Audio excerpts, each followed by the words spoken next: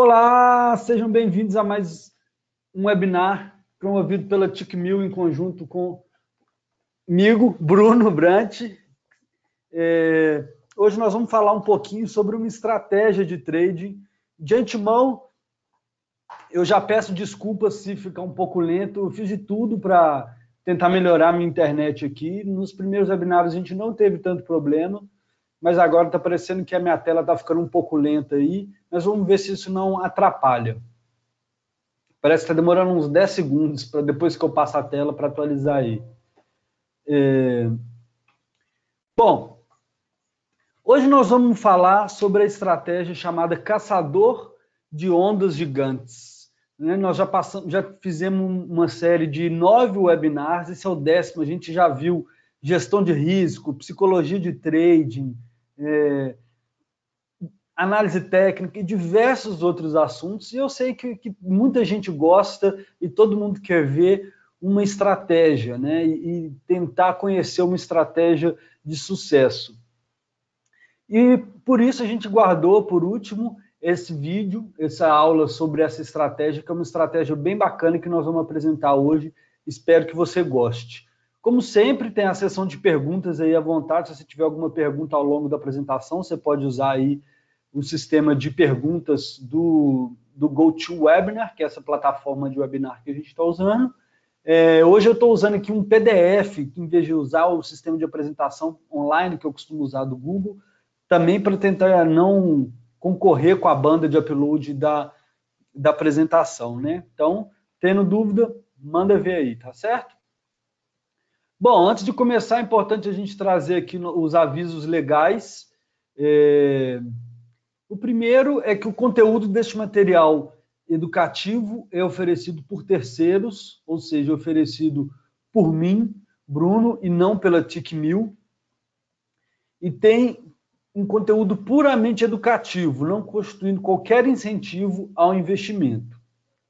Qualquer pessoa que realize essa atividade de investimento faz por sua própria decisão, assumindo todos os riscos.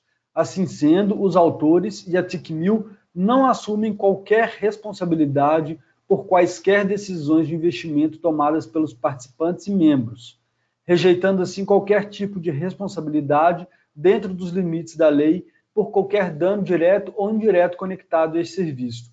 As opiniões expressas pelos locutores não refletem necessariamente as opiniões da TICMIL a menos que especificado.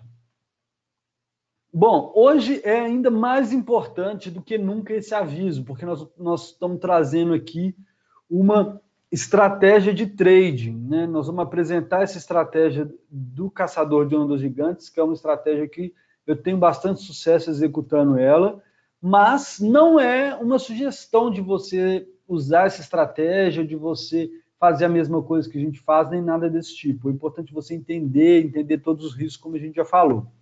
Sobre o risco, importantíssimo você entender que os CFDs são instrumentos complexos e apresentam um elevado nível de risco, podendo você perder o seu dinheiro rapidamente devido à alavancagem. 81% das contas dos investidores perdem dinheiro ao negociar CFDs com a ThickMill UK Limited você deve considerar o entendimento do funcionamento dos CFDs se pode correr o risco de perder o seu dinheiro. Então, mais uma vez, a gente já explicou em vídeos anteriores sobre a alavancagem, é importantíssimo você entender esse conceito e como não usar ela contra você e sim a seu favor. E eu sempre comento como que é legal a ThickMill trazer esse dado aqui de 81% das contas perdem dinheiro, mostra uma transparência, mostra que ela é realmente regulamentada, é, e que isso é uma exigência legal do, da regulamentação do Reino Unido e da Europa agora, tá? Trazer esses dados.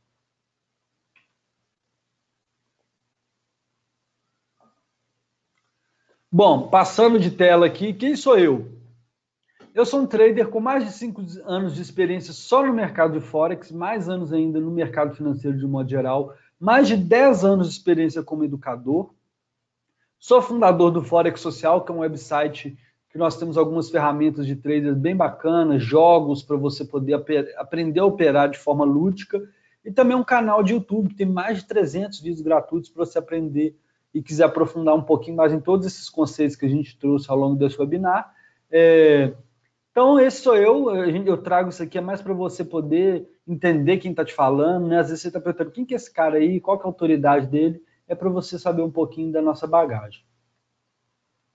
Bom, bora para a estratégia? O que, que nós vamos falar hoje? Já passando de tela aqui, vai chegar aí no, no slide da agenda.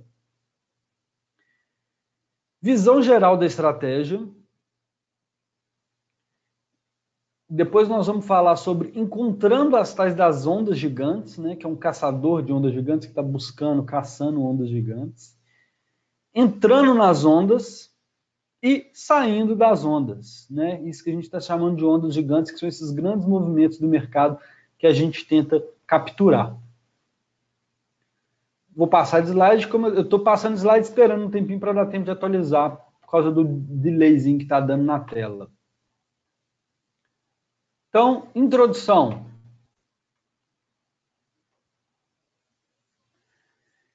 A gente começa aqui com uma frase do famoso George Soros, que é chamado o homem que quebrou o Banco da Inglaterra, né? E ele diz o seguinte: não é se você está certo ou errado que importa, e sim quanto dinheiro você ganha quando está certo e quanto você perde quando está errado. É uma das bases da estratégia do caçador de ondas gigantes, de quando está errado, perder pouquíssimo e quando está certo, conseguir extrair o máximo de resultado do mercado.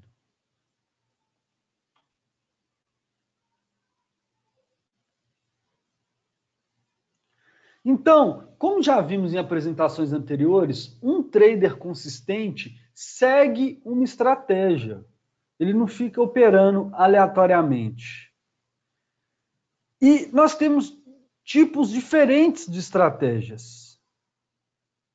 Nós temos, de um lado, estratégias com alta taxa de acerto e que tem um baixo ratio de recompensa-risco. E de outro lado, nós temos estratégias com uma baixa taxa de acerto, com alto ratio de recompensa-risco. É importantíssimo você entender esses conceitos. Então, uma estratégia com baixa taxa de acerto significa que você fecha muitas trades no prejuízo e algumas no lucro. Mas essas que você fecha no lucro, você compensa todos os prejuízos daquelas pequenas perdas que você teve. E o caçador de ondas gigantes é uma estratégia que está no lado direito desse gráfico aí. É uma estratégia que tem baixa taxa de acerto, mas um alto rate, um alto ratio, uma alta proporção de recompensa para risco.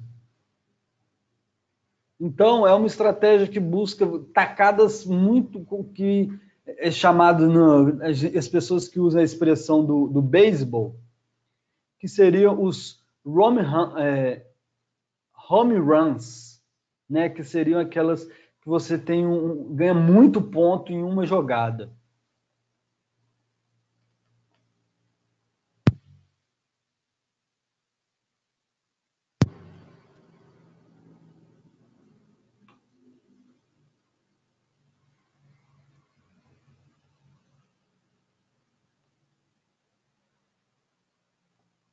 Bom, é, vamos falar agora um pouco o que, que seriam essas ondas gigantes.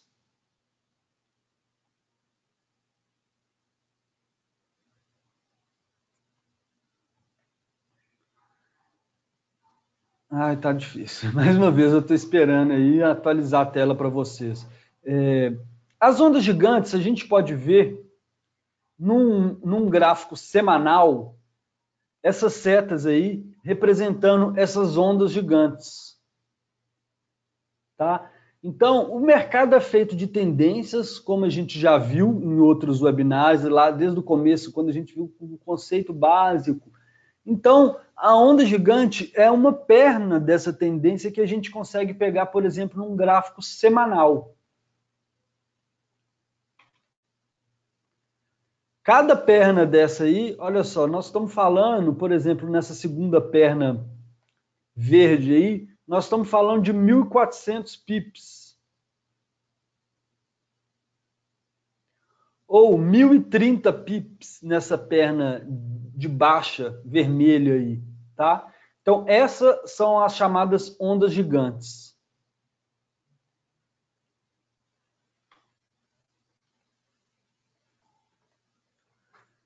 Então, características da estratégia.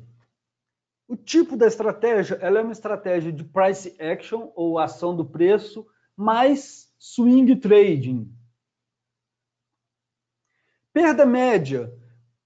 Quanto que se perde em média quanto você está errado, quando pega no seu stop loss? 10 pips. Lucro médio, 200 pips. Isso dá uma proporção de recompensa-risco de 20 para 1. Taxa de acerto média, 20%.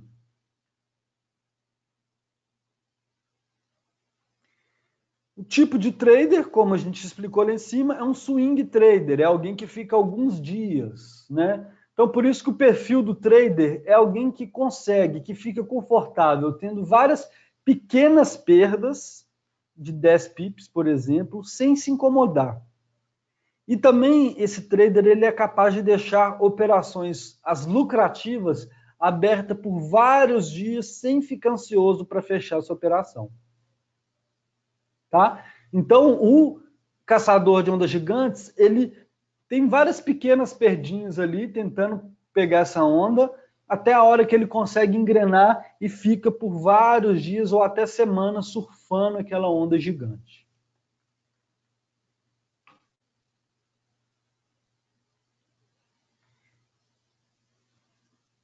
E como conseguir surfar essas ondas arriscando tão pouco? É o que nós vamos ver nos próximos slides e nessa aula de hoje. Então a gente começa a entrar aqui agora em como identificar essas ondas.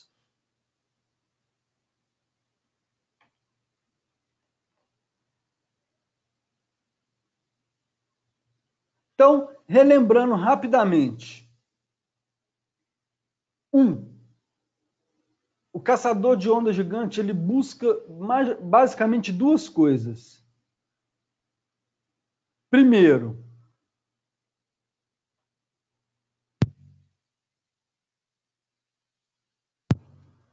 pontos em que o mercado está formando novas tendências ou realizando novos swings no time frame âncora.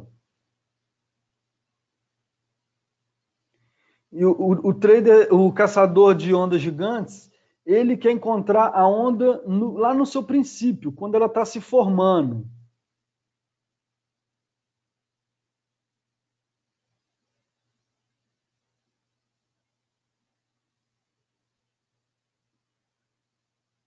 E ele quer entradas que ofereçam relações risco-recompensa, que a gente chama aqui de astronômicas, relações risco-recompensa muito boas, tá? Então, ele quer surfar a onda sem se arriscar demais.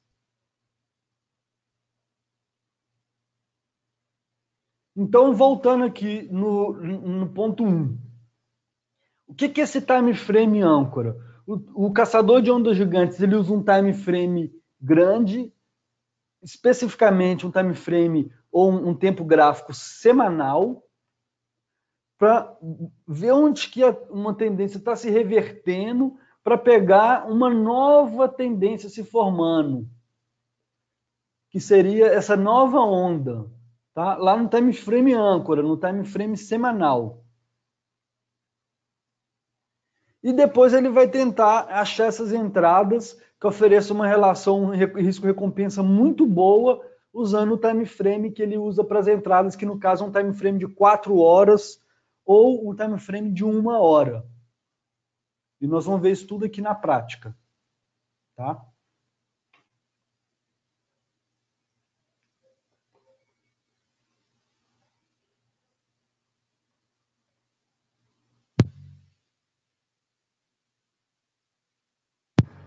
Então, na prática, ó, tá ficando meio lento, é porque, como eu falei, eu tô tendo que esperar. Infelizmente, a internet está muito ruim. Tô tendo que esperar um tempinho para atualizar a minha tela aí para vocês, tá? Eu, como eu falei, desliguei todos os dispositivos, não tem nenhum celular, não tem nada na internet, mas eu acho que esse horário está muito ruim para fazer esse webinar, infelizmente. Mas vamos lá. Na prática, um trader que surfa ondas gigantes, ele realiza suas pesquisas nesse time frame âncora durante o final de semana, encontra um, dois ativos que vai focar na semana seguinte. Até três ativos.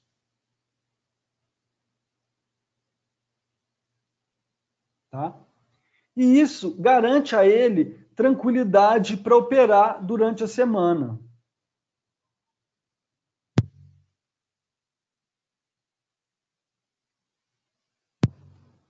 Então, essa aqui já é uma vantagem de se operar essa estratégia.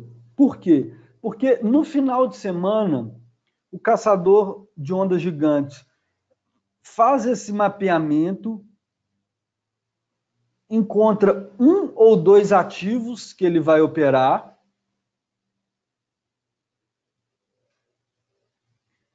e não fica ali durante a semana pulando do euro dólar para o dólar ien, do dólar ien para o dólar australiano, dólar australiano, é, dólar australiano ien, e aquele monte de ouro, petróleo, aquele monte de coisa ali, ficar meio perdido durante a semana, o dia inteiro procurando um monte de coisa. Não. O caçador de ondas gigantes, ele escolhe um, dois, no máximo três ativos que ele vai operar na semana seguinte. Então ele fica ali só durante a semana usando esses três ativos. Isso dá uma tranquilidade para ele negociar.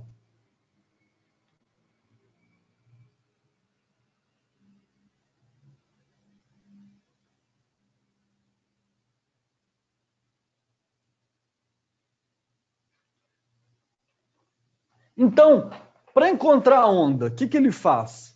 O objetivo é encontrar onde o mercado pode estar mudando para criar um novo swing, né? essa reversão da tendência, igual a gente falou. E para isso a gente vai usar técnicas relativamente simples.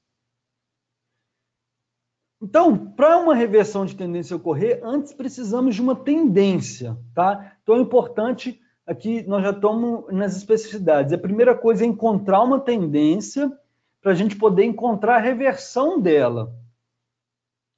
E essas tendências devem saltar aos olhos. Se você tiver que procurar muito, essa tendência provavelmente não está lá. Certo? Aqui na apresentação viria tópico a tópico, mas como eu transformei em PDF, está vindo tudo de uma vez.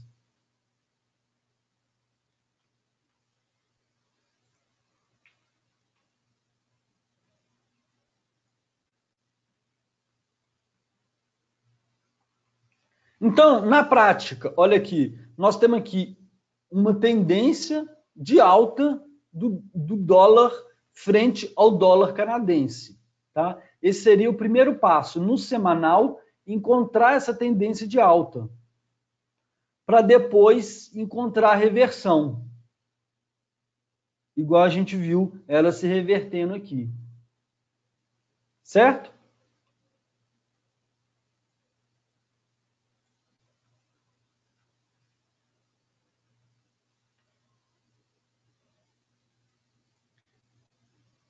Aqui, nesse gráfico do Eurocad, nós temos mais um exemplo de uma tendência prévia. A gente tem uma tendência de alta se revertendo e formando essa onda gigante dessa perna de baixa.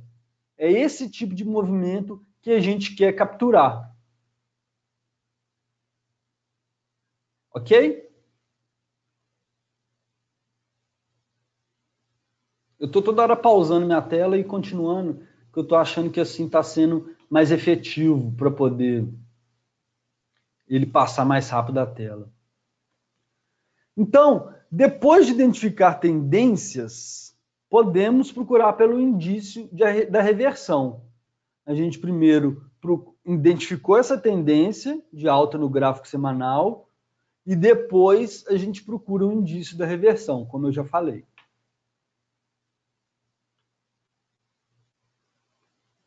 E quais vão ser esses sinais de reversão?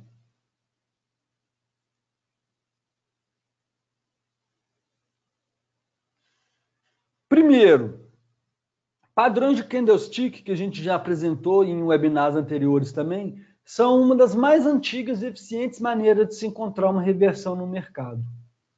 Então, a gente vai no semanal encontrar reversões usando esses padrões de vela que a gente já conhece, tá? Vamos ver algum desses padrões aqui.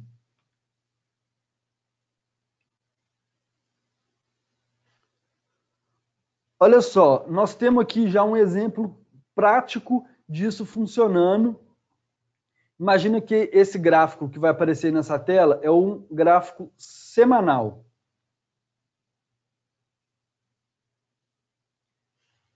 E aí nós estamos vendo uma reversão de alta. Lá embaixo mostrando, ó, no passo 1, a gente tem a tendência de baixa precedente. No, no passo 2, a gente vê essa vela indicando uma possível reversão de alta.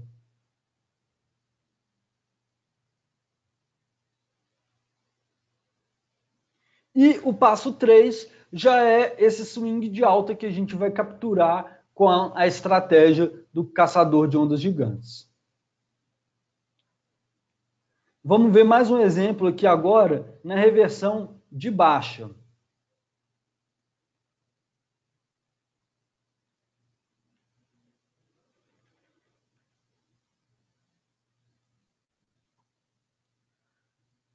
Então, na reversão de baixa, o que, que a gente tem? A gente tem uma, essa tendência de alta precedente acontecendo Aí a gente vê ali a vela de reversão, tá vendo? Olha só.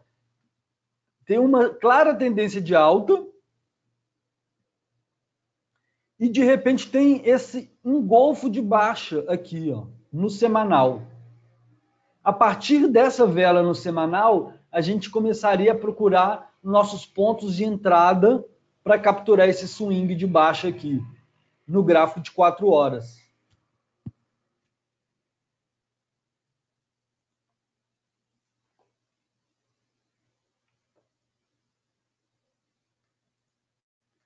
Então, um padrão é esse que a gente mostrou desse engolfo e um outro um outro padrão que a gente pode procurar no semanal são os chamados pavios longos. Né? Considerando que é uma vela, tem essa expressão pavio, né? Então, esses pavios longos, eles podem indicar a perda da força no sentido da tendência atual.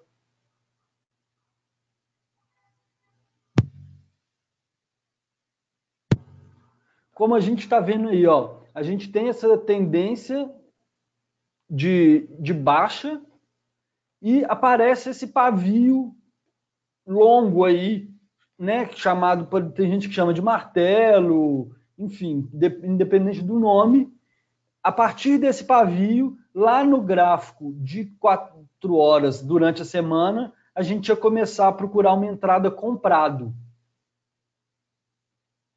Certo?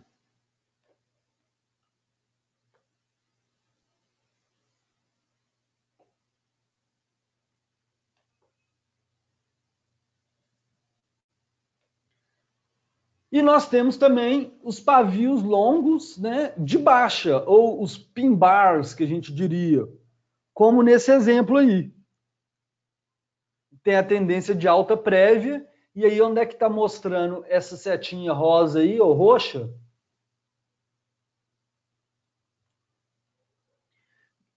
Tem o padrão e a partir daí a gente começaria a buscar entradas de venda para poder pegar esse swing, essa, essa onda gigante aí no semanal, tá? Lembrando que esse gráfico aí que a gente está vendo é um gráfico semanal, e essas velas aí que vem depois, nós estamos falando de mais de mil pips. Ok? Chegou uma pergunta aqui, eu vou ler, ó.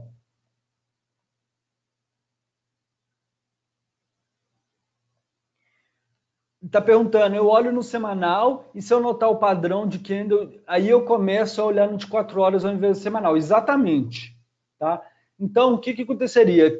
Chegou no final de semana, você viu essa velhinha do, que está apontando aqui no 2? Serviu para, durante o final de semana, você só olha o gráfico semanal inicialmente no final de semana, para te dar esse viés, esse gráfico âncora. Então, graças a esse gráfico semanal que você olhou e viu esse padrão aqui, durante a semana você só usa o gráfico de tempo menor, de quatro horas ou de uma hora, para poder procurar a entrada vendido, certo?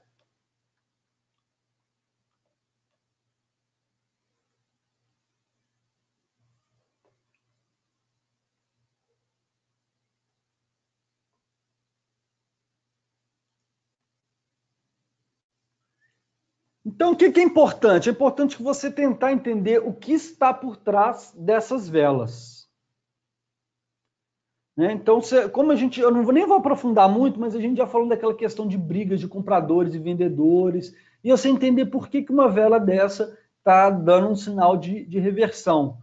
Você pode escolher quais padrões, eu apresentei os dois que eu mais gosto de usar aqui nessa estratégia, mas você pode escolher, olhar aquele livro que a gente apresentou na, nos webinars anteriores, dois webinars para trás, falou dos livros sobre padrões de candlestick e, e escolher os padrões que você acha interessantes de reversão. Tem uma pergunta aqui também que chegou, que é o seguinte: quais lotes devemos usar nessa estratégia? Bom, é, aí é importantíssimo você entender aquela questão de gestão de risco e de plano de trading que a gente falou em aulas anteriores. A estratégia em si não define qual que vai ser o tamanho dessa posição. A estratégia define qual que vai ser o seu risco em pips. E o risco em pips é entre 10 e 15 pips. Tá? Então, vamos supor que você quer arriscar 1% da sua conta ou ainda meio por cento, que eu diria que é mais interessante nessa estratégia, na, em cada operação. Você tem que calcular o seguinte: eu quero arriscar meio por cento, então eu tenho que fazer com que 15, por, 15 pips represente meio por cento da minha conta. Certo? Então, para fazer uma coisa bem, bem simples aqui, vamos supor que você tem uma conta de 3 mil dólares. E você quer que seja meio por cento da sua conta meio por cento dessa conta é 15 dólares. Então você tem que ter uma posição que 15 pips vão ser 15 dólares. Ok? Então, continuando, é importante entender o que está por trás dessas velas. A gente já falou isso e você entender essa briga lá. Alguns exemplos de padrões de vela aqui, ó.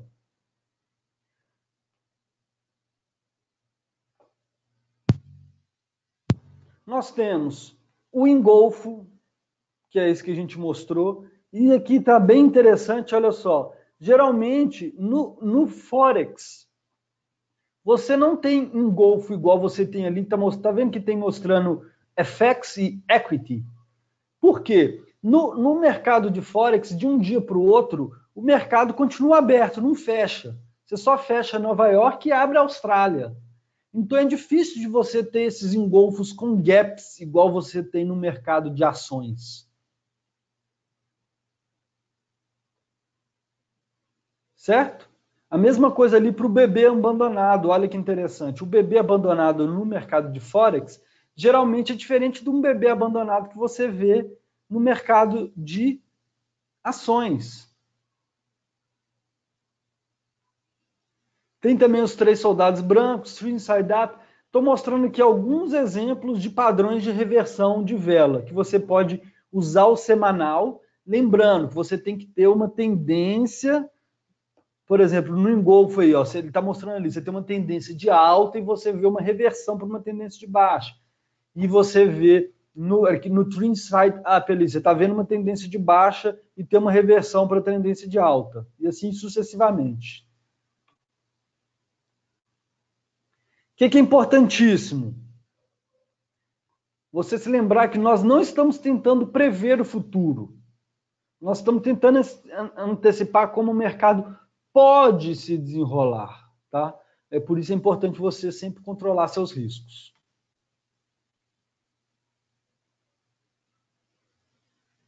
Quando o mercado se move de acordo com o que imaginarmos, nosso trabalho é ter certeza que aproveitamos ao máximo a oportunidade. Então, essa é a ideia por trás do caçador de ondas gigantes. Se não vai conforme o que a gente imaginava, o que a gente esperava, a gente controla o risco, perde ali 10, 15 pips. Agora, se vai ao favor do que a gente quer, a gente quer, nós pretendemos aproveitar ao máximo essa oportunidade. Então, que esse slide está falando o que eu acabei de falar. Quando o mercado se move diferente de nossas expectativas, o trabalho é entrar em modo defensivo e garantir que as perdas sejam mínimas.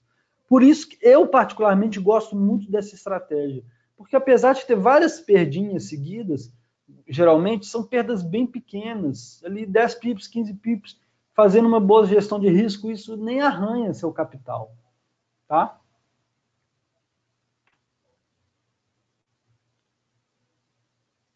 Então, recapitulando aqui essa, essa primeira parte, que é a parte de encontrar o princípio da onda, tá? Nós ainda não falamos da entrada da estratégia especificamente, nós estamos falando de você encontrar uma tendência lá no final de semana, a tendência no gráfico semanal, buscar o sinal de reversão e selecionar os pares.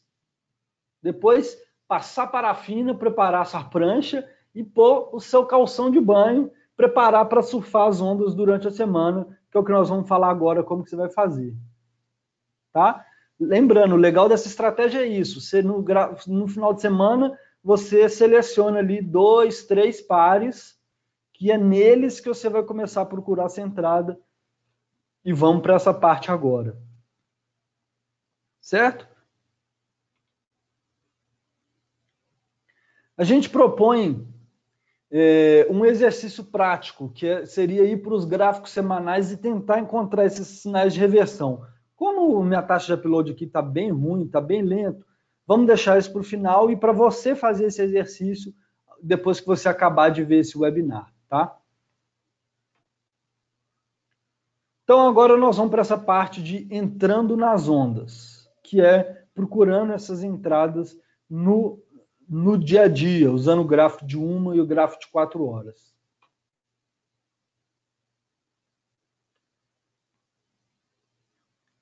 Aqui a gente tem mais um, um slide relembrando mais uma vez, vou passar rápido aqui, é, que a gente, o que, que o caçador de onda, de onda gigante está buscando, já falei isso mais de uma vez, não precisa da gente perder muito tempo aqui.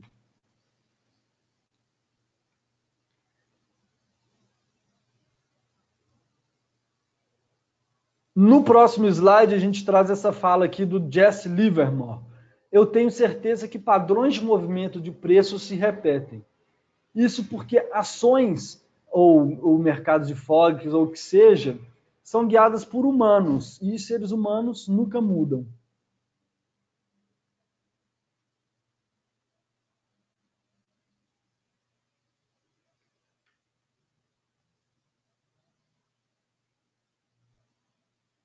Então, depois de um tempo operando, você vai aprender que o mercado está em tendência e ele anda em zigue-zague, que a gente está mostrando aqui, que é essa tendência. Ok? E o que, que a gente vai procurar no, no caçador de onda gigante? Nós vamos observar essa tendência e marcar as trend lines, conectando esses pontos numa linha de tendência. Nós também já fizemos webinar sobre isso aqui, mostrando é, essas linhas de tendência. Uma coisa importante a se comentar é que não existe linha de tendência perfeita. O mercado não é, não é perfeito igual você vê num livro, tá? Aí você pode ficar na dúvida, ah, eu uso é, a mínima do, do, pavio, ou eu uso o fechamento do dia, ou da, da vela de quatro horas. Isso não, não tem uma resposta definitiva e certeira. É o que tiver interessante ali no seu olho você observar. Tá? Então, as características gerais dessas trend lines. Elas podem ser formadas por dois ou mais pontos. Geralmente, quanto maior a trend line, maior o movimento quando ela é rompida. E não existe a trend line perfeita, como a gente já comentou.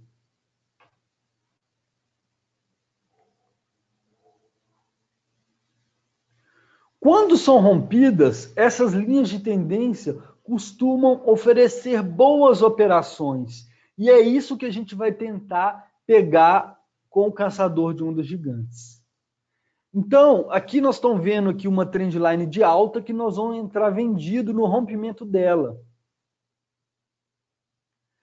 Então, nesse caso aqui, no gráfico semanal, a gente vai ter detectado uma possível reversão de baixa.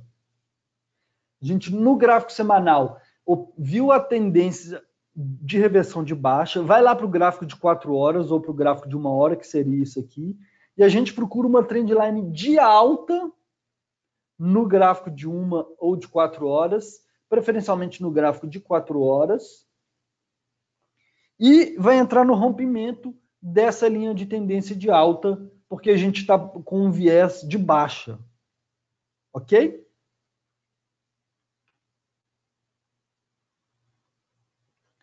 Então, algumas considerações sobre rompimentos.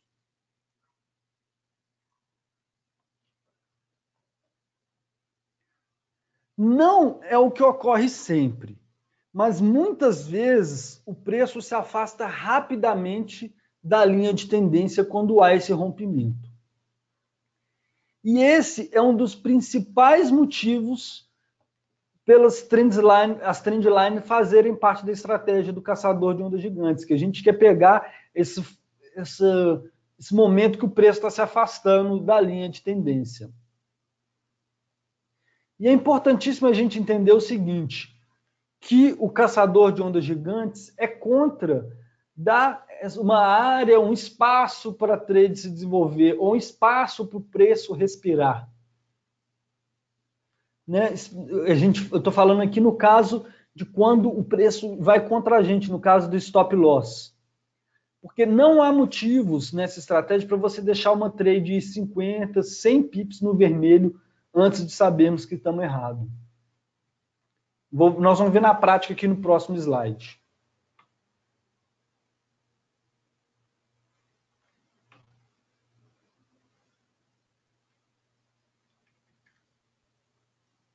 Antes de ver um exemplo prático, é importante falar aqui que o, o rompimento de trendline nem é sempre tão lindo, igual aquele gráfico anterior, né? Muitos casos, há um reteste dessa linha de tendência pelo outro lado. E é importante a gente estar prevendo ele, e esse reteste pode até ser usado. Tá? A gente já falou também, quando a gente fala é, é, em webinars anteriores, falou de análise técnica, esse reteste é muito comum. O ser humano ele é meio é, cabeça dura, né? Ele gosta sempre de testar as coisas mais de uma vez. Então, esse reteste também é esperado pelo outro lado da linha de tendência e pode ser até um sinal bom do que a gente está querendo. Importante entender o que? O rompimento ele pode ser em qualquer um dos dois sentidos. Pode ser um rompimento para baixo, igual a gente mostrou, mas também pode ser um rompimento para cima. Então, nesse caso aqui, o que, que seria? Seria a gente lá no gráfico semanal, a gente tinha uma tendência de baixa, viu uma possível reversão de alta, e o que, que a gente foi? A gente foi para o gráfico de 4 horas e viu esse movimento aqui, e ficou esperando o rompimento para entrar comprado. Tá? Então, sobre essas retrações ou esses retestes, é bom estar preparado para que eles ocorram.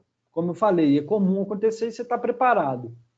E eles podem oferecer uma excelente oportunidade de entrar no mercado a um preço, mesmo quando se perde o, o, o rompimento, a um bom preço, né? Que a gente está querendo dizer aqui.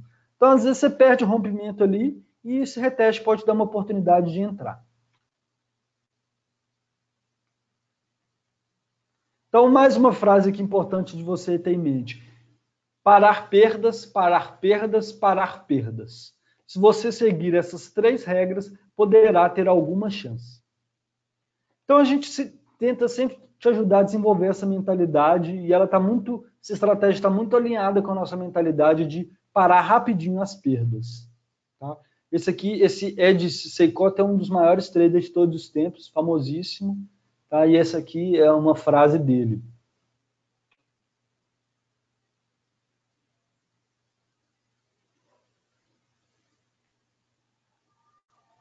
Então, aprofundando aqui no setup correto.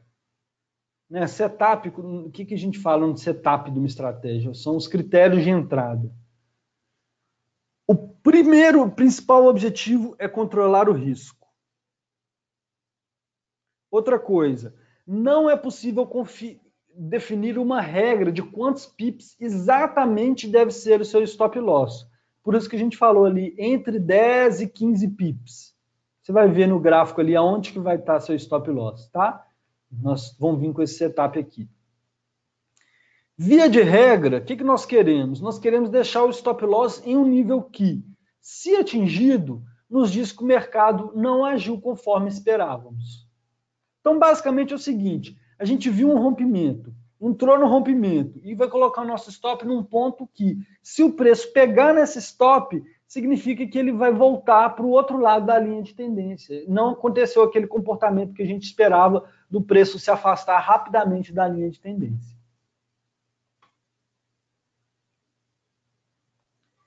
Então, o seu stop loss ele deve ser bem estreito, como a gente pode ver aí nessa tela.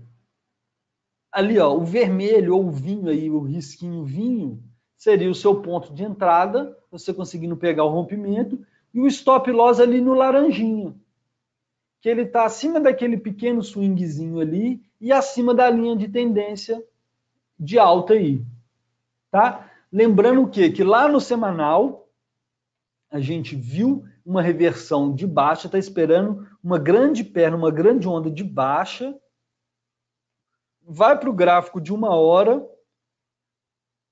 ou para o gráfico de quatro horas, espera ele formar uma tendência de alta para entrar vendido no rompimento dessa tendência.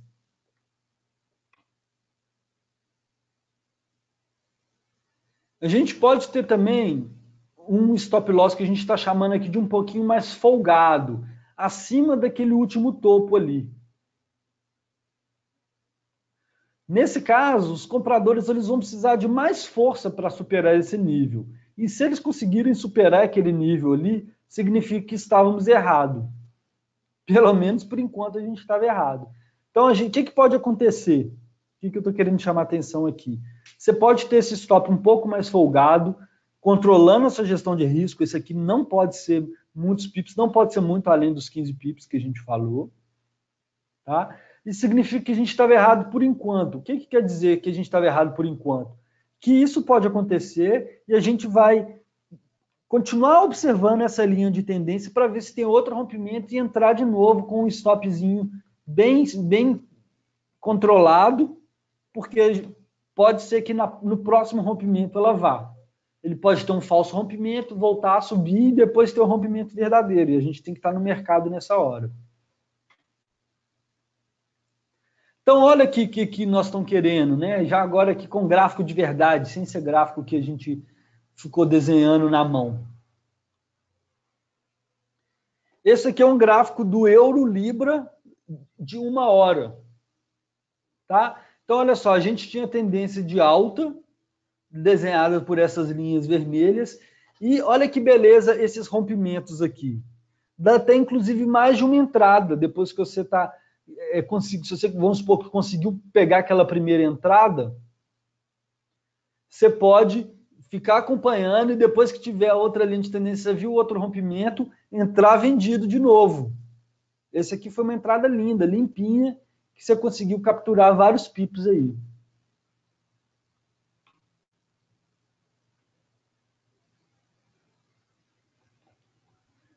Aqui, mais um exemplo. Nesse caso aqui, num, num gráfico de ouro. Esse aqui é um gráfico semanal, mas a ideia aqui foi trazer, mostrar o mesmo comportamento. Olha só, o preço aqui eh, poderia ser usando um, um, até um, o, por exemplo, o mensal de âncora e a gente esperando uma reversão no mensal, uma reversão de alta, e a gente vê o mesmo comportamento aqui no semanal, entrando para dentro de um gráfico, né? entrando assim para um time frame menor, digamos assim, o preço rompendo essa linha de tendência de baixa, retestando pelo outro lado e dando uma segunda entrada depois do reteste.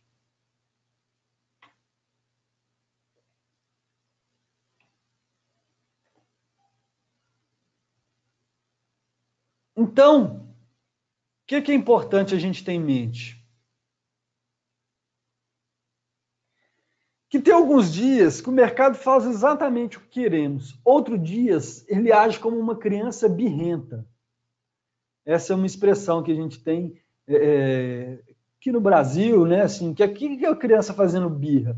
É ela fazendo manha, é ela não fazendo aquilo que você espera, ela deitando no chão, esperneando, e não e a gente tem que estar preparado para isso. Tá? A gente tenta sempre trazer essa psicologia aqui para você saber que não é sempre lindo daquele jeito. Vai ter vezes que o mercado vai agir com uma criança birrenta e você tem que estar preparado para isso.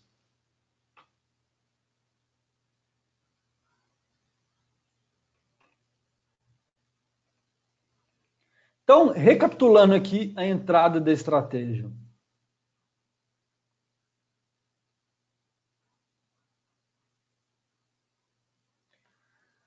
Pode parecer complicado, mas quando você começar a praticar e, e a, as entradas, vai passar a sentir como o preço se move. Tá? Aqui está errado ali, desculpa, tem um erro de digitação ali, mas é quando começar a praticar as entradas, você vai passar a sentir sempre esses rompimentos de trendline, vai ficar bem claro para você existe uma, uma diferença entre teoria e prática. Então, é importante você praticar, não só ter essa teoria que você está pegando aqui agora, e também tem a diferença da teoria de como que o mercado vai se comportar e como que ele se comporta na prática. Né? Então, no mundo real, no mundo real, o mercado pode simplesmente ignorar nossa linda trendline e não há nada que possamos fazer em relação a isso. O preço muitas vezes se reverte, dá saltos e tem essa tendência chata de acertar o nosso stop loss e depois mover ao contrário para o lado que a gente queria. Mas temos que aceitar esse fato. É simplesmente o que o mercado faz. Não adianta ficar nervoso com isso. Certo? É, é importante introjetar essa, isso na sua psicologia como um trader. Então a gente tem aqui rapidamente a parte de saindo das ondas, que seria quando sair da operação no lucro. A gente já viu o stop loss, mas sair a ideia é basicamente surfar a onda até que haja uma mudança na nova tendência. Ou seja,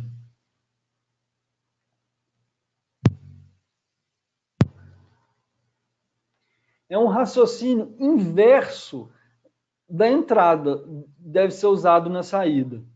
O rompimento da linha de tendência que esteja no seu sentido. Então, o que, que acontece? Depois que você conseguiu pegar aquele movimento, por exemplo, aquele da, da do euro-libra ali, o um movimento de baixa, o preço vai começar a fazer umas linhas de tendência de baixa. Depois que ele romper a sua linha de tendência de baixa no gráfico de 4 horas, você pode ir para o de uma hora, aí você começa a pensar em sair daquela tendência. Certo? Então, de um modo geral é isso, assim, é assim que funciona a estratégia. Eu vou tentar ir para os gráficos, vamos ver se, o, se, a minha internet permite, né, a gente é, passar um pouquinho pelos gráficos aqui para detectar na prática essas, esses movimentos, tá?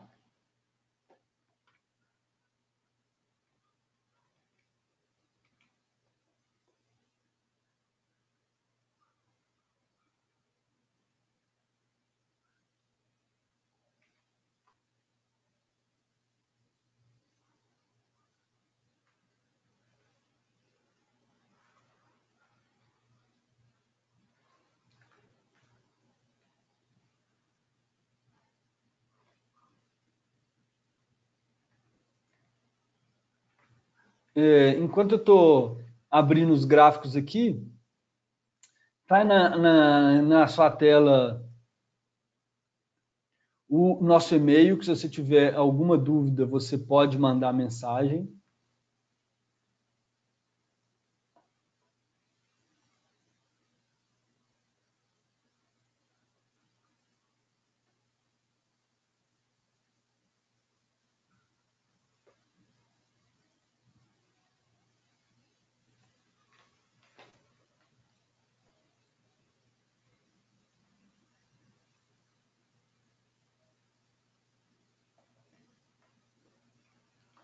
Vamos lá. É, assim, eu já, já vi que vai ser difícil. É, eu, eu, fico bem triste. É, vou ter que pensar alguma forma para a gente fazer webinars no futuro de melhorar isso.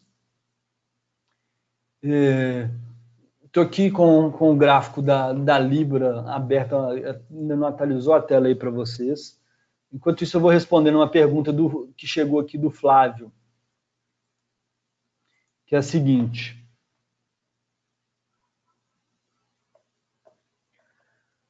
Bruno, com risco de, 1%, de meio por cento, a estratégia não fica muito travada, muito lenta, mesmo ganhando mil pontos? Não, porque, olha só, olha, se a gente tiver uma relação lá de, de, de 10 para 1, vou colocar 10 para 1, você arriscou meio, tá? Nós estamos falando de você fazer 5% da conta com uma operação que você fechar no lucro. Isso, 5% é um resultado excelente, tá? A gente já falou sobre isso.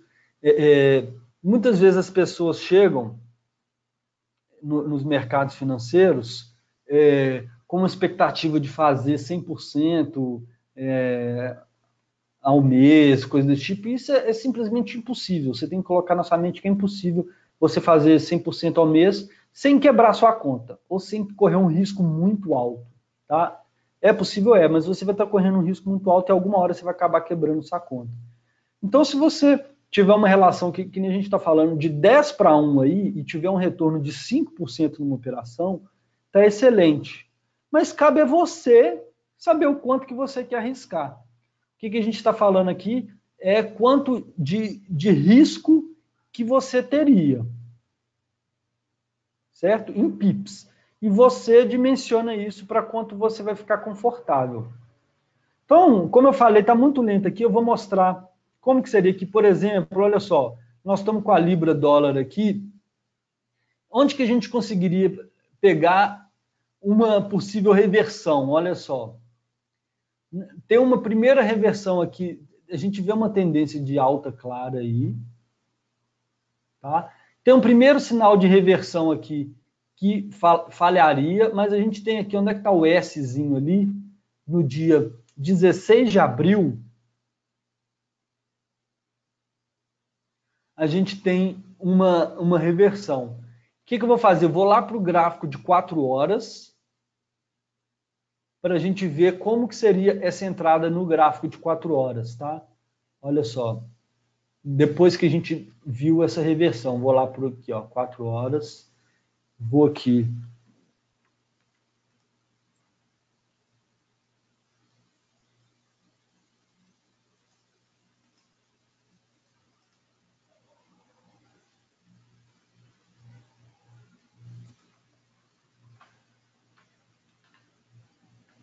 Dia dezesseis de abril.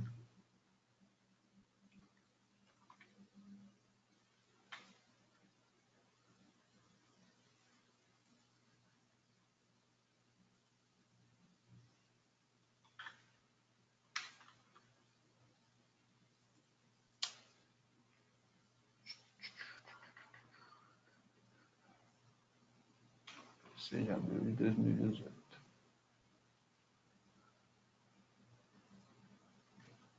Dois mil e dezoito, quatro, dezesseis.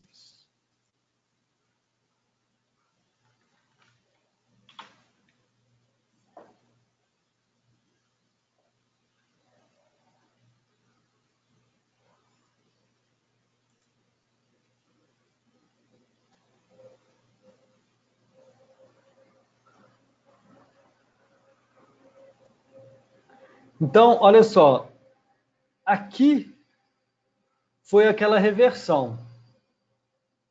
Para poder entrar, o que, que a gente buscaria?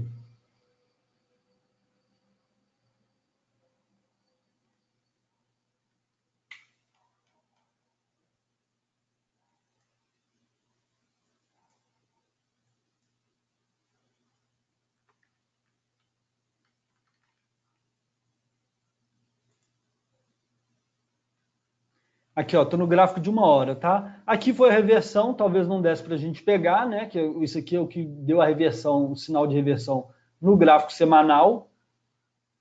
Espera aí, vou te mostrar.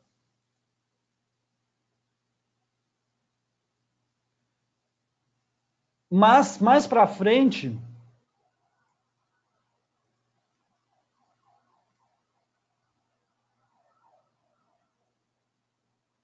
a gente traçaria linhas de tendência de alta, como essa aqui, para pegar os rompimentos.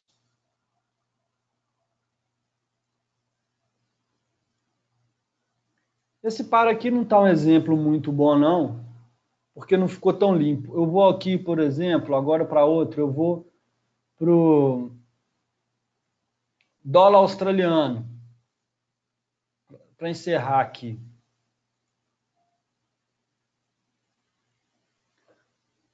Olha só, a gente teve ali uma, uma vela de reversão aqui no dia 30 de janeiro.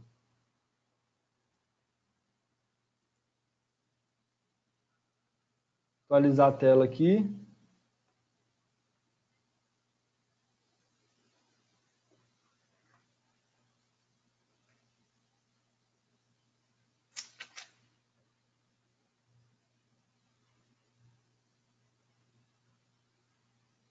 É, agora está mais difícil ainda da internet. É, eu, infelizmente não vai dar. Eu posso é, é dar outros exemplos. Depois estou vendo que está muito, muito lento. É, eu já mudei para o dólar australiano aqui há um tempão, ele não está indo. Mas espero que os conceitos tenham ficado claros. É... Aí, ó. Apareceu o dólar australiano aí agora para vocês. É... Vou pausar a tela aqui. Olha só, nessa última reversão aí, ó, que foi no dia 29 de janeiro, que a gente viu que ele vem numa tendênciazinha de alta, aí a gente tem o padrão de engolfo ali, começando a reversão de baixa, certo? E isso foi na semana do dia 22 de janeiro. De 2018.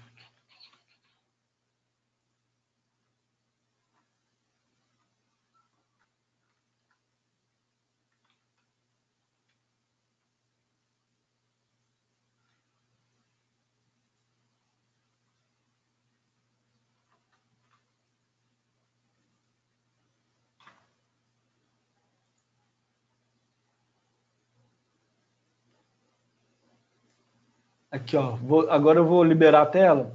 Acho que vai dar para a gente ver. Olha só. Agora eu estou no gráfico de quatro horas aí daquele momento lá. Certo? É, essa primeira perna de baixa aí é o, é o que causou aquele padrão. A gente não teria conseguido pegar. Mas depois a gente tem essa linha de tendência de alta aí, logo na sequência, que a gente pegaria o rompimento dela para surfar essa onda.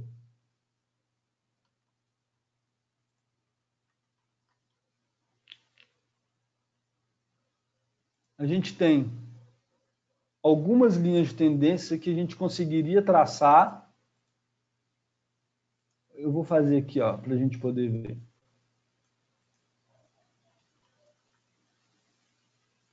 Aqui está um bom exemplo, tá?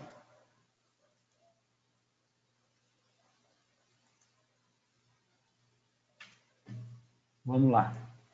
Pausei a tela, dei um play. É... Aí você vai ver como que seria o, o, o seu movimento aí. Tá vendo essas linhas de tendência de alta traçada? A gente operaria o rompimento dessas linhas de tendência, porque a gente, no semanal, a gente tem o, nos deu o filtro de que a gente quer entrar vendido. Certo? E nem sempre vai funcionar, como eu falei, mas a gente consegue ficar com stop loss bem curto e repare como que quando tem os rompimentos da, das, das linhas de tendência, o preço se afasta e a gente consegue é, ter uma relação risco-recompensa bem bacana. Tá certo? Bom, então era isso que a gente queria apresentar para a estratégia de hoje. Mais uma vez eu peço desculpa por essa questão do, do meu upload estar tá muito ruim, está ficando lento. Eu fiz o possível, como eu falei, para que isso não, aconteça, não acontecesse, né? É, mas infelizmente está com esse probleminha. Vamos solucionar para os próximos. Espero que tenha dado para você extrair alguma coisa, até para você pensar uma estratégia a gente quis mostrar aqui, especialmente uma estratégia multi-time frame e como que essa questão de você ter um, um âncora num, num time frame maior pode te ajudar muito a você filtrar as entradas no menor e ter um desempenho bacana. Então, aqui a gente trouxe a reversão de tendência no gráfico maior, que a gente usa o semanal, e rompimento de trend line já com o nosso viés no time frame menor que a gente usa o de uma hora ou quatro horas. Tá certo? Você pode usar isso para criar sua própria estratégia de outra forma. Espero que você tenha gostado. É, tá aí nosso e-mail para qualquer dúvida que você tenha ficado. É, foi um, um prazer apresentar esse webinar para você, assim como os anteriores. E espero te encontrar mais para frente. Um forte abraço para você. Muito obrigado a TicMil pelo convite. É você que acompanhou até aqui. Um abração e até a próxima.